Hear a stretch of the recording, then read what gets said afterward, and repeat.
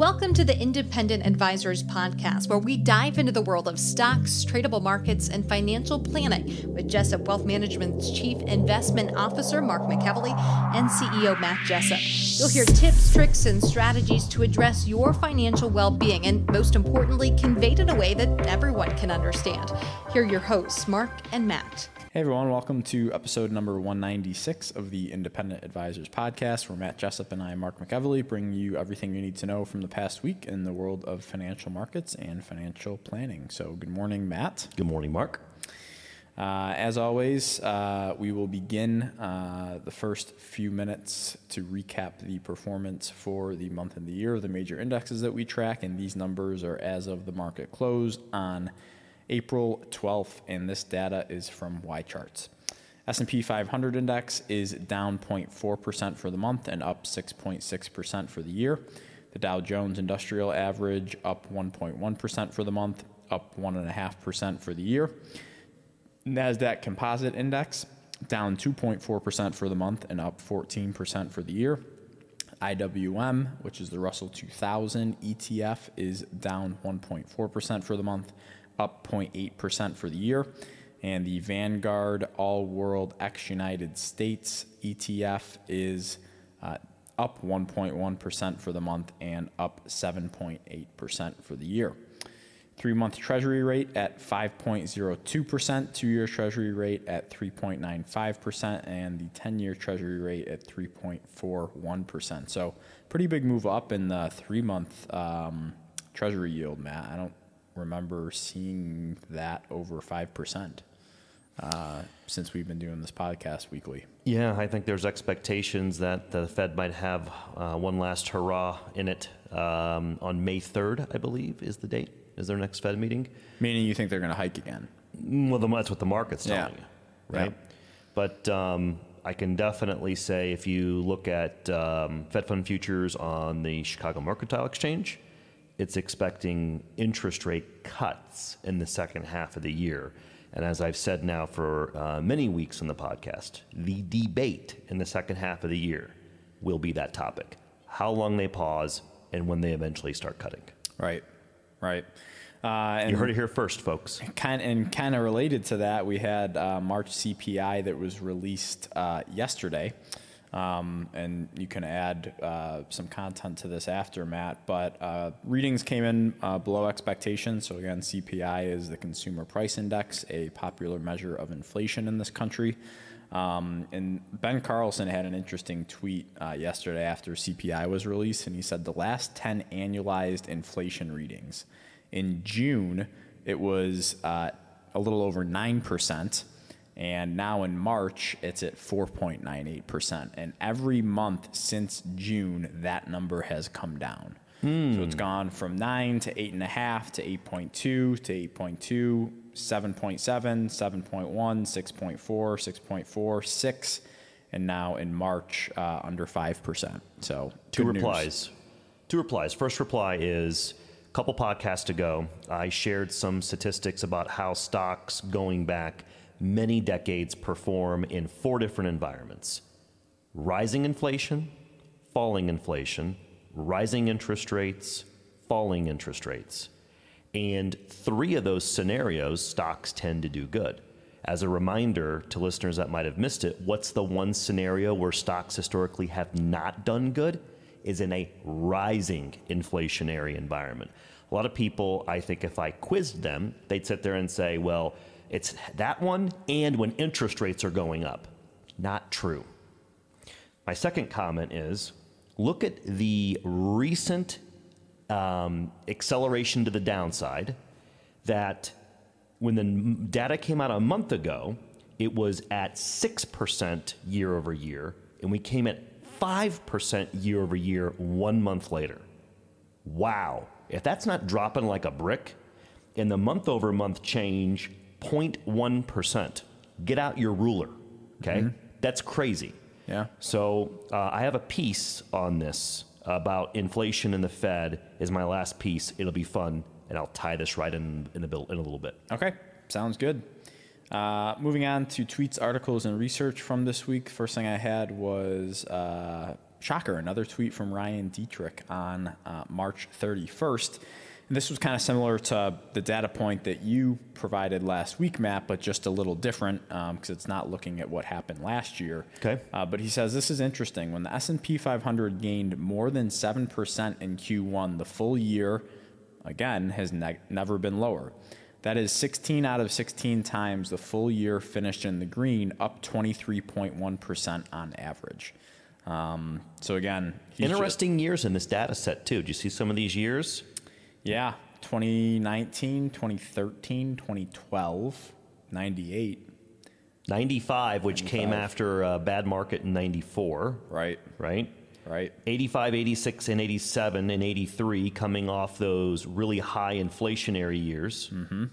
I don't know. Pretty Yeah, interesting. It's very interesting. So uh, Ryan's just been throwing out a bunch of data um, that's pointing to all things that this year should be well into the green. So uh, we'll see how that plays out. Uh, second item I had, Matt, uh, was an article by Harry Sit titled No FDI Insurance Why a Brokerage Account is Safe. And I'm just reading that headline. I'm not saying that a brokerage account is safe. That's just the headline of the article. Um, so I thought it was an interesting time to kind of discuss the differences because people might have the question, given everything that happened uh, with the banking system over the past couple of weeks. Um, you know, is my money that's in a brokerage account FDIC insured? And uh, that answer is is is no, simplistically. So he gets into a little bit and says there's a big difference between having money at a bank and having money at a broker such as Charles Schwab, Vanguard, or Fidelity. Money at a broker isn't insured by the FDIC, but it isn't like uninsured deposits at a bank. When you have money at a bank, you have a lender borrower relationship with the bank. The bank borrows money from you and lends money to others. When you have money at a broker, the broker is only buying and keeping things for you.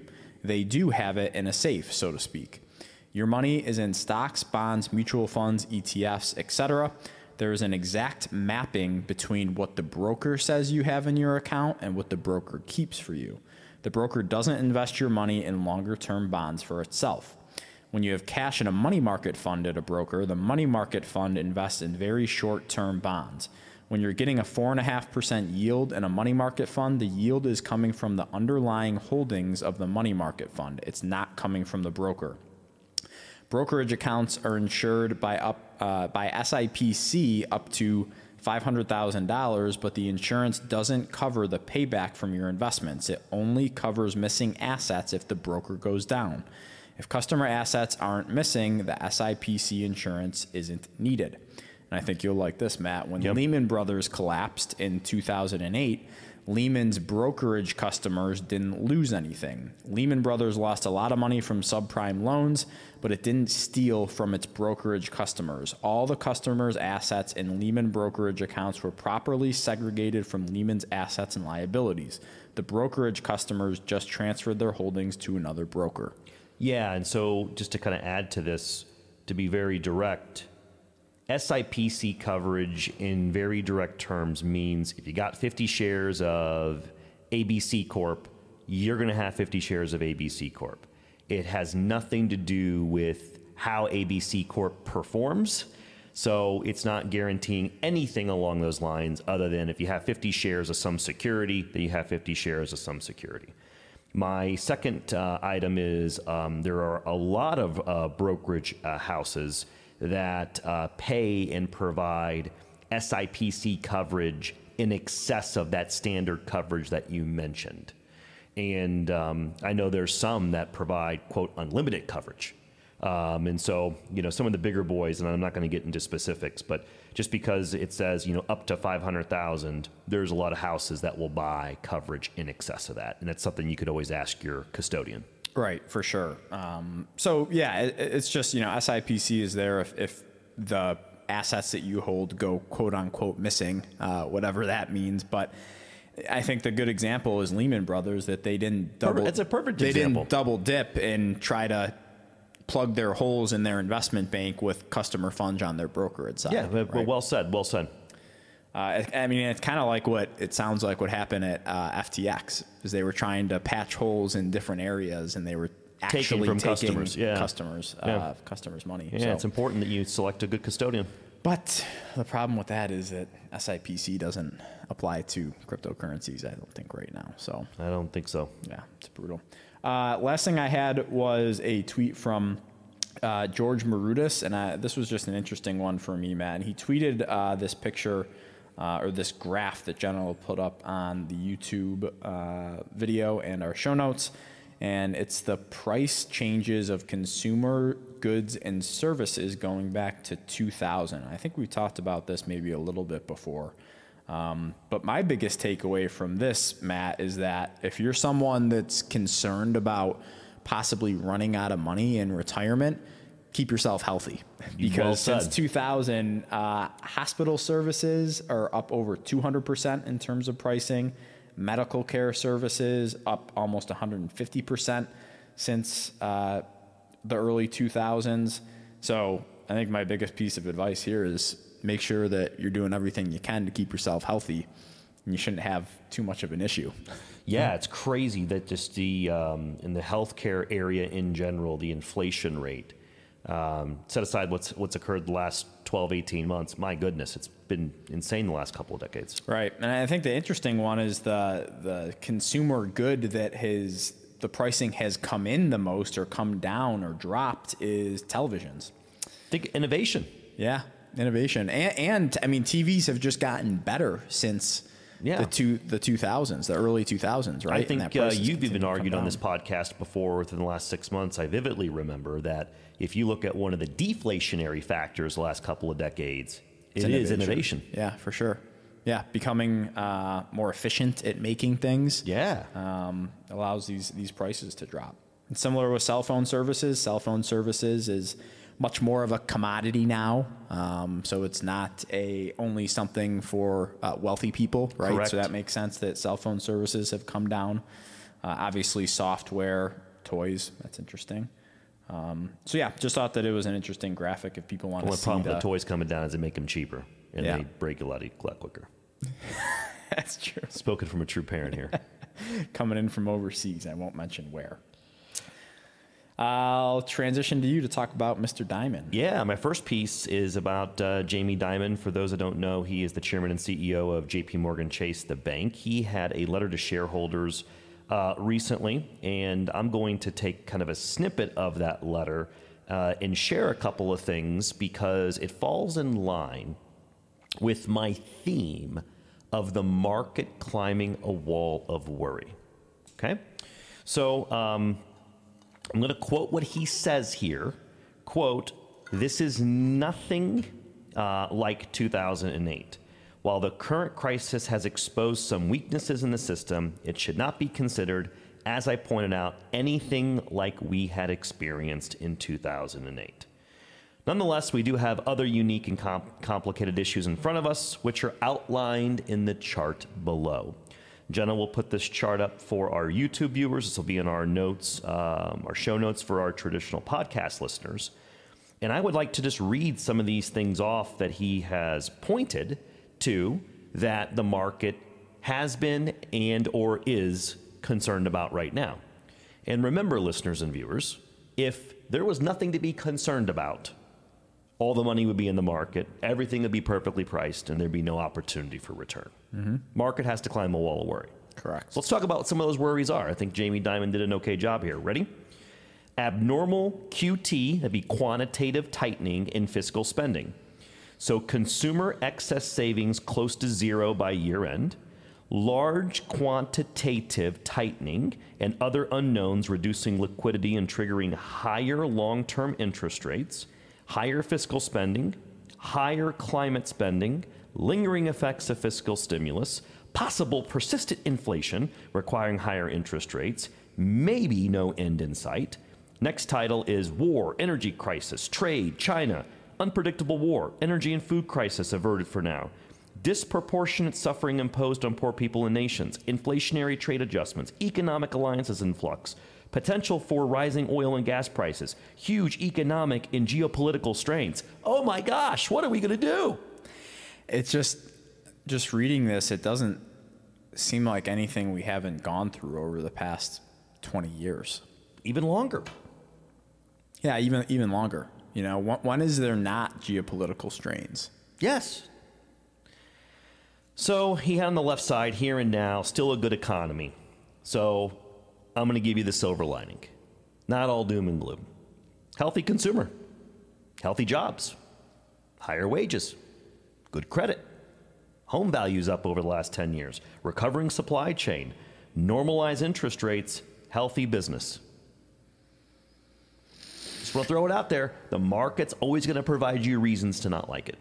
Yeah, and uh, again, there's always going to be a reason to sell, right? There's never going to be a time where everything is completely calm and there's no worries in the world, right? Yep.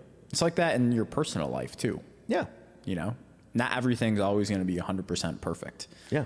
Um, there's always going to be some sort of, you know, quote unquote headwind out there that could cause financial ruin in the markets, right? And how many times does that happen? Yeah, and my and my saying is remember, it's not trying to time the market, it's time in the market. Mm-hmm. That's a perfect example of what we're going through right now. My next thing is a check-in on debt levels. Okay, this is a tweet by Mike Zaccardi on April 5th. Jenna will put up this chart for our YouTube viewers. This will be in our show notes for our traditional podcast listeners. You're gonna three you're gonna see three charts here, Mark. The first one on the left is corporate debt levels. And what this is is S&P 500 net debt to EBITDA. And what do you see on this chart from 2001 up to recently in 2023? It's steadily fallen. Shocker. Balance sheets, corporate balance sheets have improved the last couple of decades. Hmm. Okay. Let's look at the next one. Household debt. Household debt as a percentage of GDP. What do you see on this one, Mark? It's been steadily falling. Wow. Okay. Two for two. What's the next one? We got U.S. government debt as a percentage of GDP. What do you see on this bad boy? Uh, it's going in the other direction than the first two. From the bottom left to the upper right, steady rise in government debt. So what you see is you see. I need my beverage. That's fine. I need my beverage this morning. So um, corporate debt looking better. Thanks. We got household some debt. caffeine in our lives. Yes. Corporate debt looking better. Household debt looking better. Public debt, that's the issue. And so, um, you know, recently people have, you know, pointed this out to us, right? They've pointed out things such as, hey, you know, I'm really concerned about, you know, the level of where um, American debt stands and the trajectory of it. Yeah. And, you know, we're a little bit over the, the 110%, 120% debt to GDP level. And we've actually been here before during World War II in the 40s. But my comment is twofold. One, you look at the rest of the developed world. Right now, the average country in Europe is anywhere from about 150 to 170, 150% to 170% debt to GDP. And it gets as far bad as Japan is like around 230% of debt to GDP. So when someone says to me, hey, I don't think that this is sustainable, that's true over the long term. In the short term, it absolutely is. I hate to say it. I hate to be the, the one that says that, but it is when I'm comparing it to the rest of the world. And the fact that the dollar is the um, it is a reserve currency, and I don't think it's going away anytime soon. 55% of every transaction in this world is denominated in dollars. Could that change in the next couple of decades? Absolutely. Is it going to change overnight? No. Yeah, and this stuff just it makes sense to me because we've had you know a rising stock market for these time periods that these chart shows, and it makes sense that stocks did well during the majority of this time period because debt levels are falling, corporate balance sheets are stronger.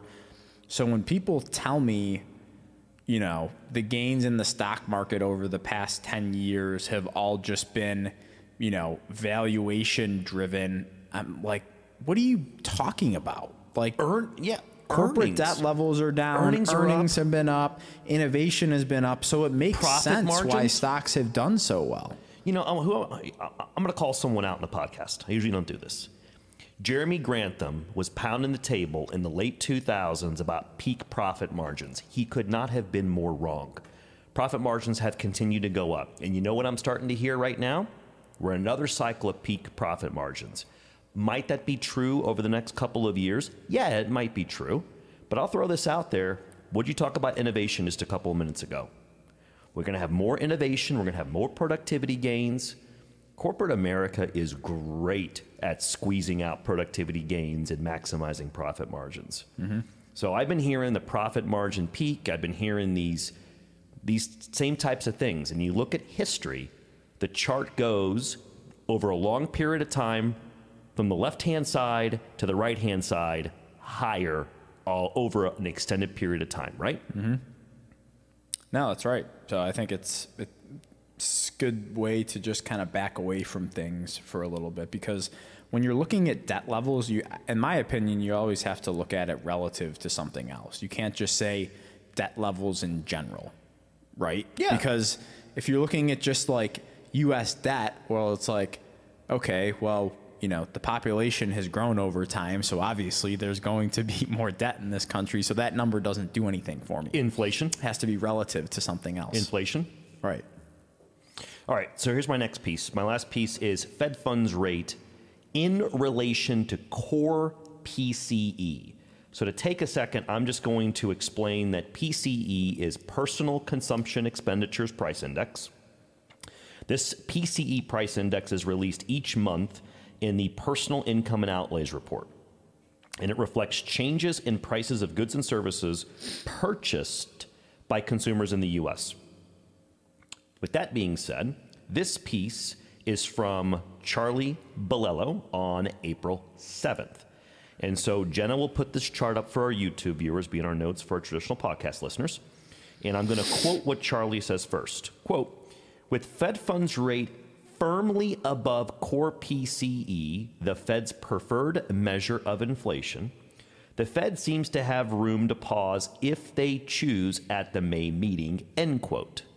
For the record, as of April 7th, the markets are pricing in a 25 basis point rate hike by the Fed at that next meeting. Now, when you look at this chart, and I'll say it again, you now have Fed funds rate, which is the rate that they charge banks to borrow money from the Federal Reserve, is now higher than the Fed's preferred measure of inflation. Okay? So, you talked about inflation a little bit ago at the top of the podcast. What do we think happen if inflation continues to come down? What do you think is going to happen the second half of this year? It's likely the Fed's going to have cover to lower interest rates. This is not being talked about enough in mainstream media, in my opinion. So, you know, one thing I want to throw out there is don't be surprised if the economy is sluggish second half of the year, and don't be surprised if you see an interest rate cut at least once, maybe twice. Who knows, maybe more. Right. Yeah, I think it's, you know, we're just in this space now where it's an abnormal environment if the Fed's doing nothing. right? It's like this yo yo that goes back and forth between raising and cutting and raising and cutting. And I just don't know if we're ever, I mean, in the foreseeable future, get out of that environment. Yeah. Yeah. I'm still in this camp. I think Powell's going to do the best he can to navigate a soft landing. I think he's, he's, he's trying. And I'm not saying it is um, impossible, but it's definitely going to be a challenge to do the raise the interest rates to the magnitude they have without causing a recession. And you got to remember these interest rate hikes is like putting medicine in a patient, and the medicine doesn't um, act in the patient instantaneously. It has a de- delayed release, delayed reaction. And I think that's why the Fed, I think at some point in the near future here, is going to pause, kind of see how that medicine's working. And if the medicine starts getting a little too strong for the patient, they're going to counteract that by starting to lower. Right. And that might be confusing to some people in a couple months because the Fed could be cutting rates and, you know, uh, unemployment increases and everyone's like, they're cutting rates. Why are things getting bad? It's like, okay, this, this data in our economy is lagging. Yes. And these decisions that the Fed makes and that others make uh, in positions of power has a lagging effect. Yes. So we're not going to see the ramifications of Yes. what the Fed has been doing over the past year f- until we're there. It could be two months, it could be six months, it could be two years. No one knows. That's right. So again, uh, I'll say it again. Debate second half of the year. It's going to be how long does the Fed pause for? When do they start to lower rates? You know, you heard it here first. That's going to be Wall Street's debate the second half of the year. I feel very strongly about that. Yeah. Um, before we go to the financial planning topic of the week, let's uh, recap briefly about the Masters. You had some predictions. Yeah, uh, predictions were not great for the most part. I think uh, Jordan Spieth came in third or fourth, so that was uh, I picked him to win. Rory McIlroy missed the cut. Uh, happy to see Jon Rahm win though. He's a really he seems like a really good Personally, guy. I think he Best did a pretty darn good job, actually. Yeah. There's a lot of how many total players entered the Masters tournament? Oh man, uh, probably between seventy and ninety. I think he did just fine. So fifty make the cut. I think he did just fine. So uh, disappointing to see Tiger withdraw. Uh, it was pretty sad to watch him limping around with his plantar fasciitis. The weather was crazy. Uh, it was 85 on Thursday, then f- like 46 on Saturday. My guess is though Playing the, in the rain. the wetness uh, probably made walking for him even harder. Yeah, yeah. So because the, uh, one of the days I think the course was just drenched. yeah, it was, it was, and they have a really good draining draining system there. But I mean, if you get that much rain, the course is going to be soaked anywhere. But um, yeah, it was uh, had a lot of drama in it. It was a PGA guy against a LIV guy all the way to the end, uh, which I think is probably what most people wanted because people are arguing that the LIV guys can't keep up anymore. And obviously, Koepka did for three rounds, and then Jon Rahm took over after that. But uh, I was I was happy with it. I thought it was a really good weekend. I would agree, and I enjoyed watching it. Yeah, me too. Me too. Well, I'll let you go. I'm going to bring Taylor in for uh, the financial planning topic of the week. Um, and Taylor this week is going to talk about uh, average 401k plan balances uh, by certain ages and a couple other items with that. So thanks for coming in, Taylor.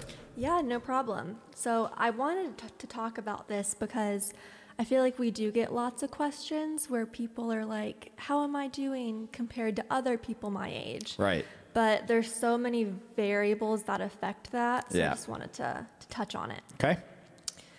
So um, the article I read, it's by John Doolin, and it started out by saying, saving for your retirement dream is something on most people's minds, and some people have a rough idea of how much money they need to fund retirement, while others may have a more specific number.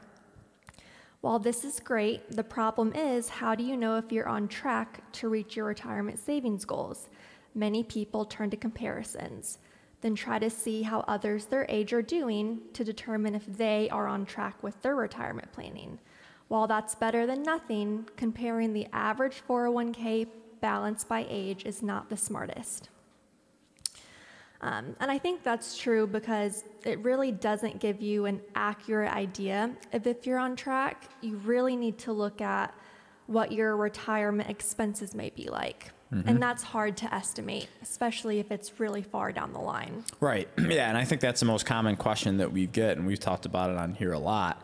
Is you know how much do I need to retire, right? Or if we're working with 401k participants, how much do I need in my 401k for me to stop working? And it's like, okay, it's a loaded question, and it's not the same for everybody, right?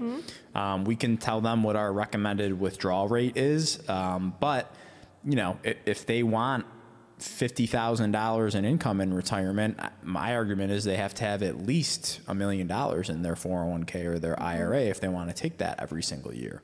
Um, so it really depends, like you said, on what the need is.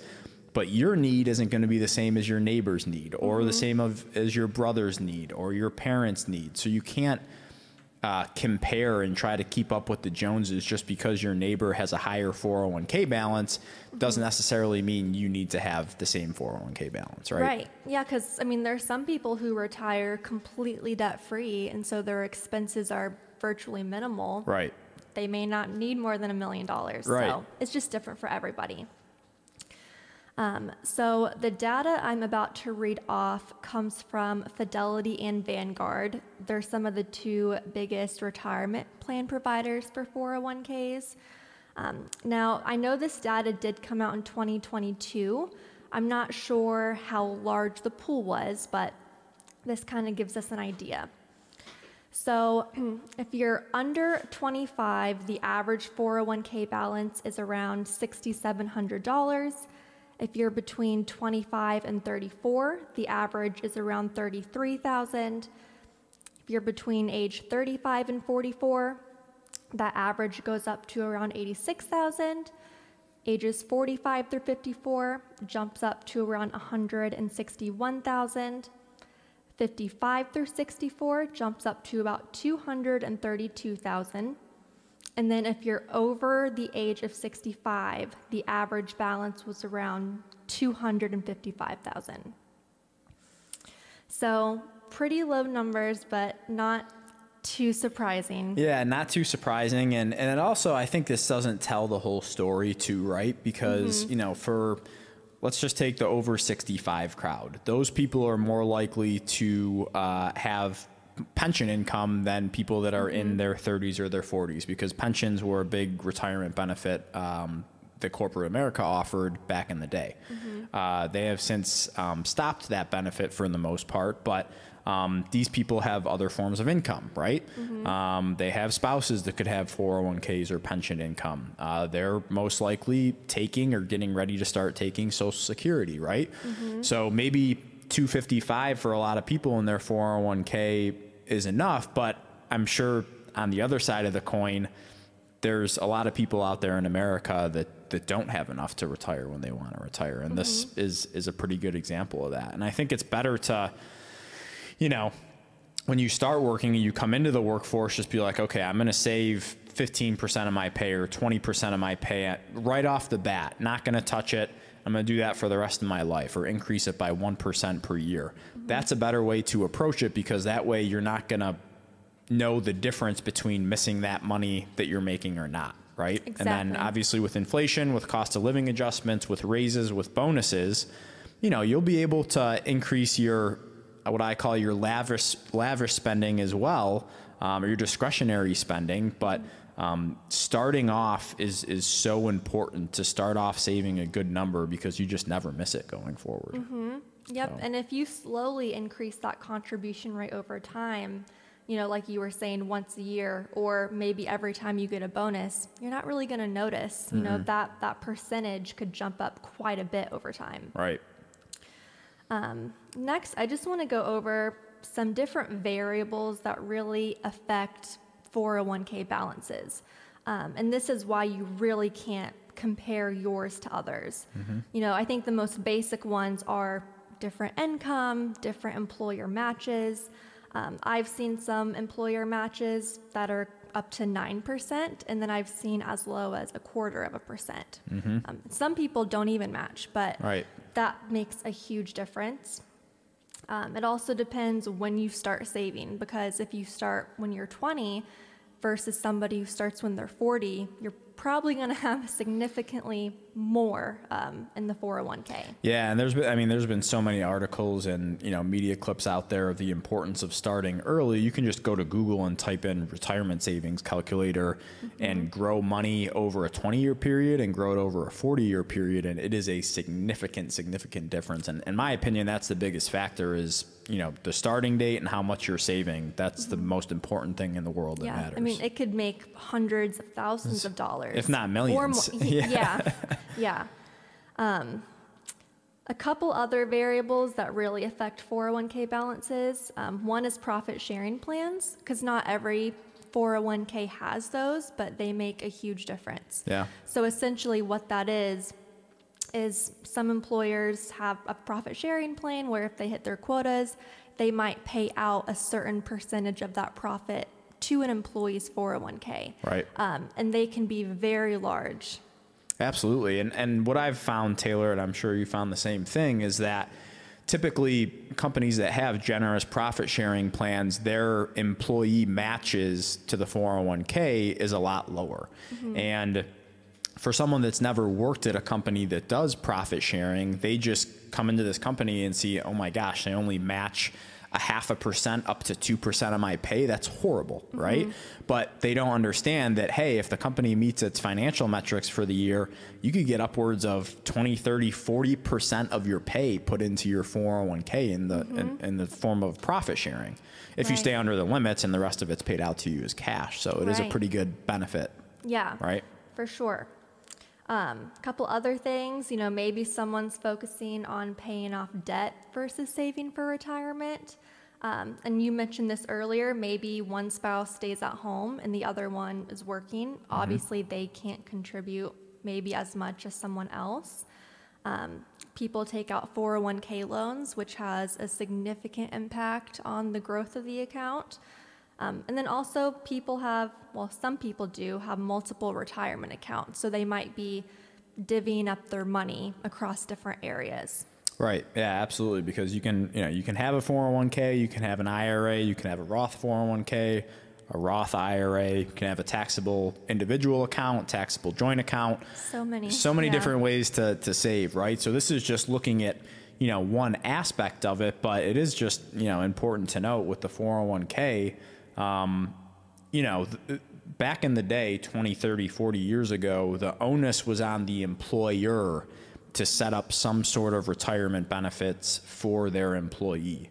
But really in the early to mid 2000s, that changed to where the onus is on the employee mm-hmm. to save and set themselves up for retirement because uh, corporate profits uh, became much more in focus. Mm-hmm. Um, so unfortunately for, for a lot of people, it's it's up to us to save our own financial futures, and mm-hmm. uh, the 401k is a great vehicle to do that. But don't think that that's the only way that you have, especially if yeah. you don't work for a, a company that has a 401k. A lot of small businesses don't have a 401k. Sometimes they don't even have a retirement plan.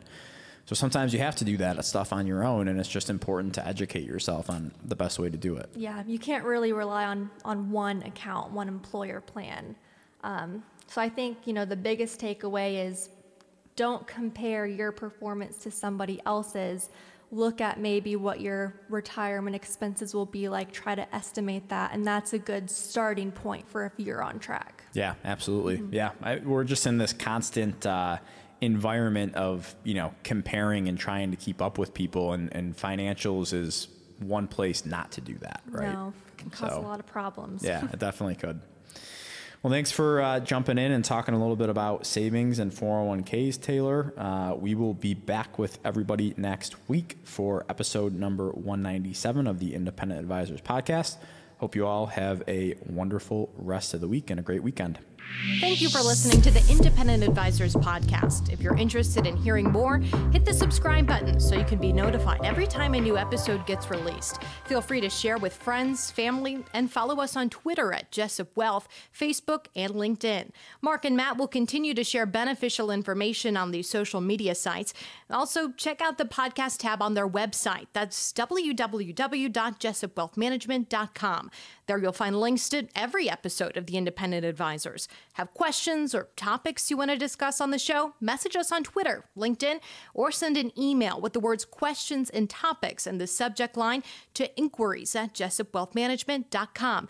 We'll talk about it right here on the podcast. Certain sections of this commentary may contain forward looking statements based on reasonable expectations, estimates, projections, and assumptions. Forward looking statements are not guarantees of future performance and involve certain risks and uncertainties which are difficult to predict. All indices are unmanaged and are not available for direct investment by the public. Past performance is not indicative of future results.